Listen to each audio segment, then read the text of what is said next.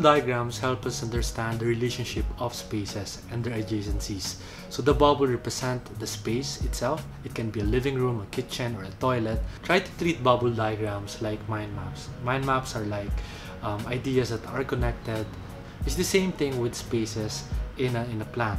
So try to imagine an architectural project as a big idea and within it are smaller ideas. You have the idea for sleeping, the idea for eating, the idea for watching TV and all of these things need to be interrelated. They need to be accessible with one another and they need to work as a, as a whole. That's why Le Corbusier, for a house typology, he thinks of it as a machine for living in.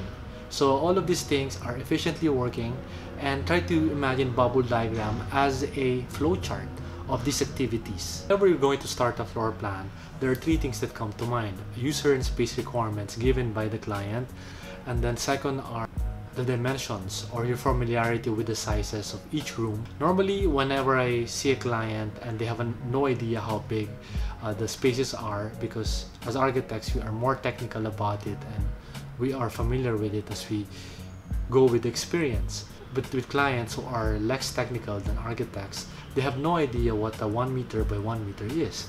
So normally I would bring a masking tape and then tape it on the ground.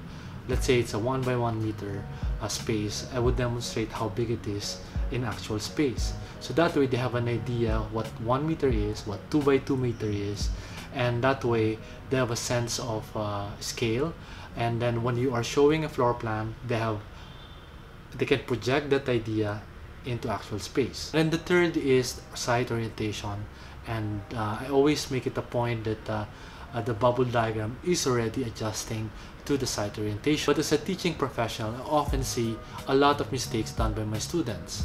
What are those the first one is that uh, they're all the same sizes. there's no sense of hierarchy, there's no sense of scale and proportion.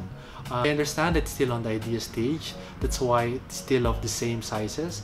But if you want to show an advanced version of a bubble diagram, I think it's better to show different sizes. Like uh, the living room will definitely bigger than the powder room or the toilet etc. So that way, uh, the reader will have a sense of scale when they are reading the adjacency diagram. And the second mistake I always see is that the bubble diagram always float in space. What do I mean by that?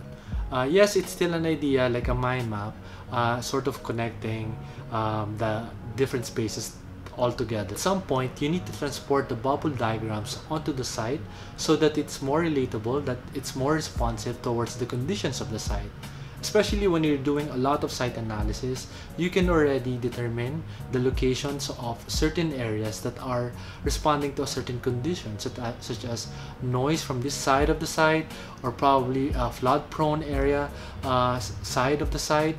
Uh, that way, uh, the bubble diagram is uh, already adjusting according to the conditions and towards the, the challenges of the site or the features of the site. And the third mistake I always see is that the bubble diagrams are just the major spaces. They don't include the support spaces. Uh, I know that it's the initial stage, but later on, uh, when you are advancing towards finalizing before going to the floor plan, you need to be more familiar with the support spaces because it can greatly affect the design. And um, whenever I see something that is lacking in support spaces, it reflects the lack of knowledge of, uh, of the student when it comes to the complexity of their project.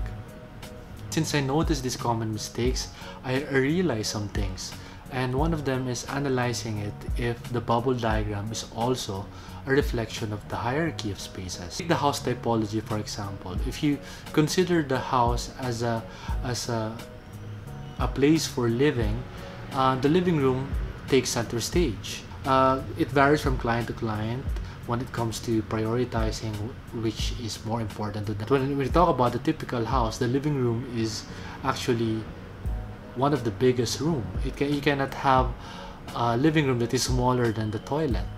And then you have the master's bedroom that can never be smaller than the guest room and even the smaller bedrooms. The same case with other programs such as say an office let's say it's a clerical or a production of documents it's all about the production of work and you have small spaces for those who are just managing uh, the employees and then when you have a hotel, it's all about the spaces for accommodation. So collective, collectively, you have the spaces for uh, sleeping in. So it's a huge bulk of the building, and then the rest are support area. The museum space, wherein the bulk of the space should be about the galleries, wherein you showcase the art pieces, and then the others are support areas.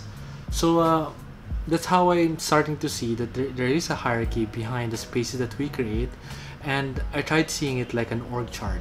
It's if going to be a school it's all about the learning spaces uh, that's the the main purpose of the typology and then the rest are supporting spaces. Within the supporting areas they have their own hierarchy and uh, that hierarchy can ref be reflected on the sizes. If i go back to the house typology you have the living living areas as the the main priority but on the side uh, what makes this house uh, functional are the people that live in it. So they have their own hierarchy.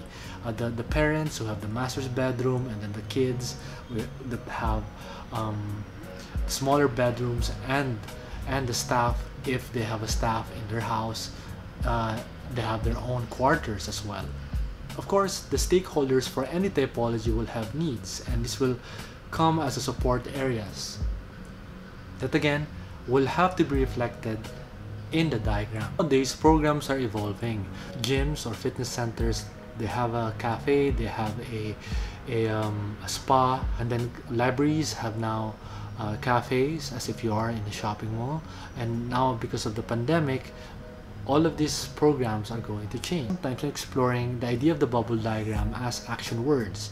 Uh, probably we can use a, uh, a bubble uh, for sleeping, a bubble for lounging around, bubble for working. And then all of these spaces can coexist.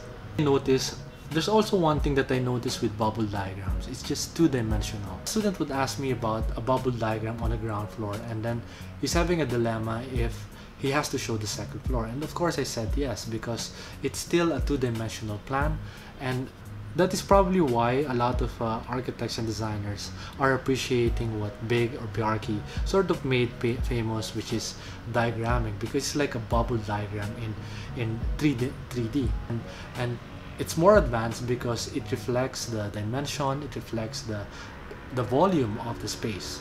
You take it to the next level, which is 3D diagram.